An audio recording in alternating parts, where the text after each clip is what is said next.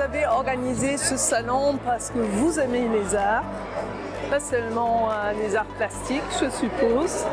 Et j'ai rencontré beaucoup de personnes dont je sais qu'ils aiment aussi euh, visiter des expositions, rencontrer des artistes. Donc, euh, je pense que vous avez touché votre cible, un monde public intéressé. Ce salon, il me fait penser à un salon international que j'ai visité en Hambourg.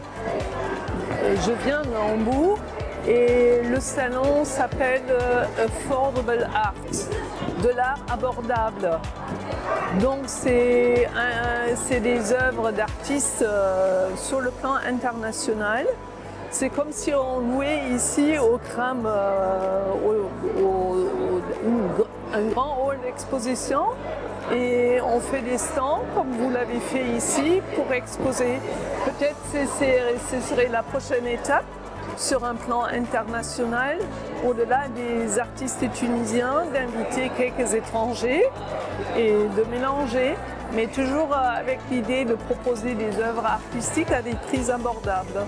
Je pense que même une fois euh, la pandémie surmontée, on va garder certaines choses acquises durant la crise. Et la vente en ligne et votre activité en ligne, ça en fera certainement partie.